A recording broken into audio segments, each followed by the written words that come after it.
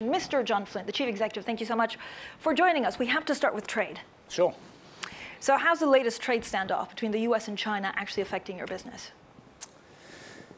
Uh, well, in the context of, of us and our numbers, and we've been updating the market kind of every quarter on this, um, what we've been saying now really since the summer of last year is it's not yet visible in our numbers. And I think that's, that's still the case. But of course, the, the, the trade dispute has really only impacted the margins of business. So you can see in our customer base certainly anxiety about um, the potential disruption and dislocation to supply chains, the potential debates around whether or not supply chains need to get reorganized, whether there'll be a bifurcation, supply chains organized around the West versus supply chains being organized to serve, to serve the East. You can pick out anecdotal examples of you know, the, the flow of soybeans. Um, China consumes an enormous amount of soybeans, and they've been buying an awful lot more from Brazil of late than they have out of the US. But I think the dimension that, that often gets overlooked is the impact that the trade tension or friction is having on investment.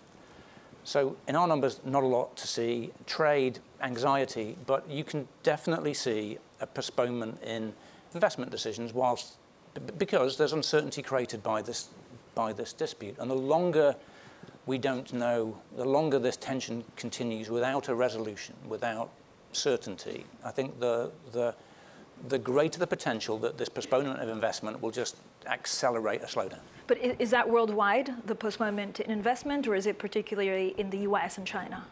I think it's a worldwide thing. I mean, we've already got Europe um, experiencing reasonably soft, um, soft economic conditions. There's a, a, different reason for postponing investment in the UK. I think, but, but, but generally, the, the, um, the US-China trade tension is the dominant economic theme, and I think it's affecting sentiment everywhere. Is this about trade, or is this something bigger? Is it about who will rule the world in the next 20 years? Oh, I, I think we've learned that it's definitely about something bigger. I, mean, I think trade is the first chapter in this, in this particular story, but when we get past trade, um, I think it's clear that there's a, a broader desire to see China contained in some way. Um, I think we'll move into a chapter that covers technology um, and maybe a bifurcation of technology and, and, and technology standards. You know, Mike in his, in his opening remarks kind of um, referenced um, how much good has been done from a human perspective over, over the last sort of 50, 60 years. And China's economic story, taking either 500 million people or 800 million people, whatever the, whichever number you choose to, to prefer, whatever that number is, that's an, an amazing story. And it's, and it's remarkable eh, for many reasons, but it, it gives Western liberal democracies pause for thought because here's a deeply socialist system that served its people really well. And it's been, it's been a very convenient narrative, I think, certainly in the West for, for too long, to be able to point to socialist systems that fail their people. And here's one that, that's, that's delivered an extraordinary economic transformation. So I think it is beyond, it does go beyond trade. Um, it is a, you know, it's, it's a new geopolitical front that we're all going to have to navigate. We're kind of hanging on this meeting between President Trump and President Xi at the G20 in a couple of days. Yeah. What can they achieve? I really don't know. Um, and, and, and I think um, the personalities involved are such that it's very difficult to predict.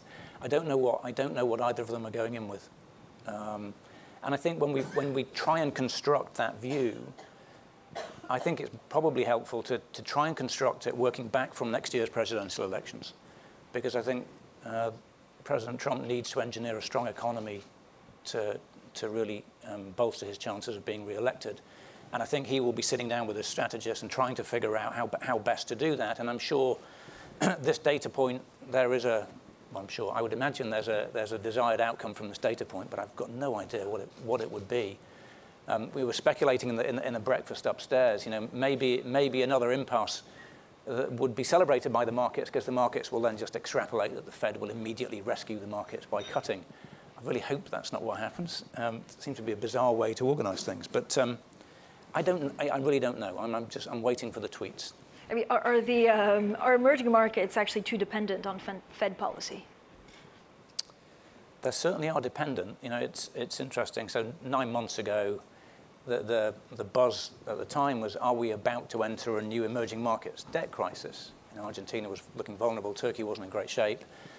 Um, there were questions about some other countries, and that was all really driven by the fact the Fed was very much still in tightening, tightening mode. I think it's, it's helpful um, for emerging markets, particularly those with, with foreign currency denominated debt, that the Fed has paused and now looks like it might be entering an, an easing cycle. So it's definitely helped. But of course, um, as ever, there's two sides to that story. Um, debt servicing is going to be easier, but lower demand from the West which is consistent with the fact that the central banks feel that they might be easing next, means that that's going to be a bit harder for the emerging markets.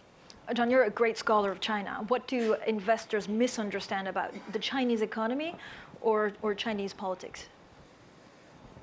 Yeah, so in my role, I have the privilege of spending a lot of time in London and a lot of time in, in Hong Kong and China, and we have a, a great history there and really privileged access to, to leaders. And I think it's, um, there's definitely a bias in the West. There's definitely a, a bias that I think comes from a lack of understanding, a lack of, um, a lack of knowledge, um, a lack of experience navigating that system. It's a, it's a very different system. Um, um but it's one that works commercially. We built, we managed to build a great business there as a foreign, as a foreign, as a foreign bank. Um, so I think there's a, the, the success in China is really about being patient, about taking time to understand a different culture, a different, fundamentally different governance system, but a, as I said, one that is serving its people well for now. Um, um, Should we worry about respectful. debt? Chinese debt? Yes. I mean, I think there's always a concern. there should always be a concern. I think the, there will be pockets of debt in the system which are not great. Um, there will definitely have been some resource misallocation given the big credit expansion. You know, worth remembering, the big credit expansion that, that China embarked upon post-global financial crisis was one of the reasons that the Western economies recovered quite so well. You know, China, through the, the coordination of the G20, played a huge part in helping stabilize the global economy at that time. Um, we bank, you know, we've been very careful about the, segment, the segments and sectors that we bank in China. Um, debt, debt performance is good for now. But I think the, the thing to remember with China is that um, or debt crises generally only become a problem if um, there isn't a lender of last resort or there, isn't, there aren't the resources to make the debt good. China's still got plenty of resources. So if there are pockets of weakness in their domestic system, they've certainly got the resources to deal with it. And they've got lots of fiscal room too. Um, and they, you know, they employed a big fiscal expansion earlier this year, 2 trillion RMB, most of which has, has been directed towards um, the private, the private sector, so the more productive sectors of the economy. So debt will always be a concern. I think something we need to monitor, but China's got the capacity to self-heal. But where will big banks grow in the next decade? Oh, well, for, for us, I think the, the macro themes uh, still point to um, the earnings potential out of Asia. Um, I think Asia will outstrip all other parts of the world. The Middle East, curiously, is a, is a, a resilient, um, certainly in our experience, a resilient region um, um, there's, there's a, a, reason every year to be worried about the politics of the region, and I think that's the, the, the, case again now. But the Middle East, I think, continues to produce good growth opportunities. Europe looks to be stuck in low growth and, and, and has structural issues to get through. The UK is, um, it could go either way. Um, it could go either way in quite, a, quite a, an extreme way. Um, and the Americas, uh, we are hostage now to the presidential election cycle in the US. So I, I, in the US economy right now actually is in very good shape. Um, slightly weaker data in the last few weeks, but the labour market's still tight. The economy is resilient, um, and the labour market very flexible in the US. So optimistic generally about the US market. But Asia's where the growth is going to come from. Um, John, about a third of all managed assets in the world, $31 trillion of capital now has some sort of green, sustainable, or ESG label attached to it. So how is that reshaping and influencing HSBC and other banks? It's a big issue for us. I mean, we're one of a few global banks left, so we work on the basis that we have a global stewardship responsibility for this transition to the low carbon economy. So um, we've we are trying, we have tried and we continue to try and demonstrate a leader, leadership position in this area. We're the number one um, arranger of GSS bonds. We have a $100 billion um, sustainable finance commitment, so we've provided just under $30 billion of that commitment so far. Um, we've got an energy policy which I think is progressive, etc. So it's, it's, something that we are we are leaning into in a very significant way. It's complex. Okay, what I can tell you as in my first year and a half of being chief exec is if you're trying to solve a global problem across lots of local and national constituents, it's very difficult to do that and not offend people. Um, and we've learned a lot in the last 18 months, but we haven't learned enough to, to persuade us not to pursue this. Um, I think that the one thought I'd leave people in the room with, though, is there's a, I don't think we should for a moment believe that this issue, ESG, or the transition to low carbon economy in business is yet mainstream. And people will tell you that it is, and all the asset managers, including ours, have teams devoted to these issues. But I can tell you that in all of, all of the investor meetings I've done since I've been the CEO of HSBC, which is probably 70, 80 meetings, um, it hasn't been raised once by the portfolio managers, by the investors, by the people making the decisions as to whether to be long or short or overweight or whatever. Um, so I think it, it's still the case that you know, growing, growing realization it's important, growing realization we've got a big problem to solve. It's not quite yet at the heart of real decision making, and, and it needs to be. But how do you define it? I guess this is one of the, major concerns, right? Is that it, it, everyone seems to have a different definition of green or, or sustainable. What guidelines do you think are helpful for any investor that wants to make a sustainable investment? Yeah, and this, this brings us directly into the whole disclosure area. I mean, I think the, the green the green debt markets, generally green bonds, green loans, I think there have been standards established there that are working. Those markets are growing nicely maybe 1% of all debt capital markets now get captured under, under the green banner, and we can see that growing to maybe 5 or 10% of the total.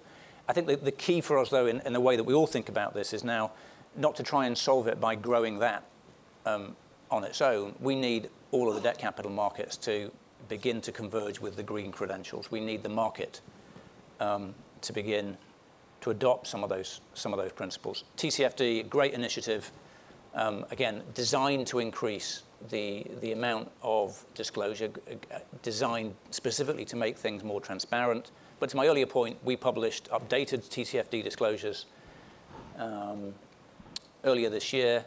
Um, quite blunt disclosures, not, not very detailed, but designed you know, as, as per the, the design of TCFD to, to reveal the next layer. For us, that was the, the percentage of our loan book that's exposed to carbon-intensive sectors and we've had no engagement on it. So we, we put the numbers out there and we wait for, we wait for you know, the echo to come back, the questions to come back, and it's, it's, not, yet, it's not yet really kind of um, um, caught the imagination or caught mainstream activity in the, in the way that it should. I think there's a great debate as to whether TCFD on a voluntary basis is the way forward or whether it's going to need to become mandatory. I think increasingly it looks like it's going to have to become, uh, to become mandatory.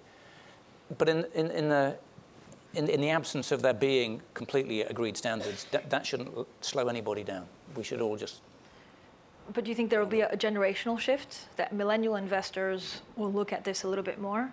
Without doubt. I think we're already seeing it. Um, and it's been interesting, actually. We, we establish what we think is a leadership position, uh, and then you get to feel good about that for about three months. And then something happens that shifts shifts the psychology. You And those of you who are London-based, you know, the Easter weekend, we had Extinction Rebellion here, got a lot of press coverage, and then we had David Attenborough talk about it. You know, interesting that you know people choose not to believe much of what our politicians say, but when David Attenborough talks about it, we all believe him. Um, and there was, so there's a shift in the consciousness here over, over that period, which I think, which I think was real.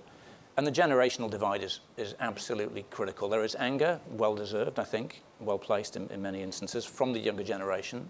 Our generation has let this slide, and we've got, to, we've got to catch up quick. That's a source for optimism, but we have to listen to it loud.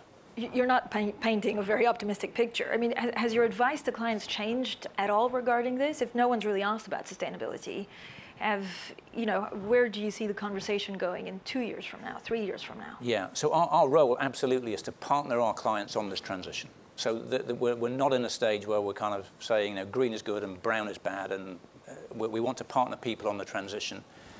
And there's some nice examples now of us partnering with, with our big clients um, to do some innovative things. We've, we've announced with Walmart um, some supply chain financing um, arrangements which will provide Walmart's supply chain with cheaper to preferential pricing on their financing if they meet certain, certain ESG or transition credentials.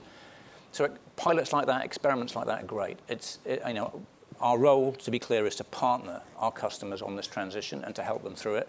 We're all learning it as we go. Am I optimistic? Um, I mean, events like this help. We've just got to keep the dialogue going on this one. Um, bit, I'm optimistic, but we are way behind where we need to be right now. John Flint, thank you so much. My pleasure. Thank you.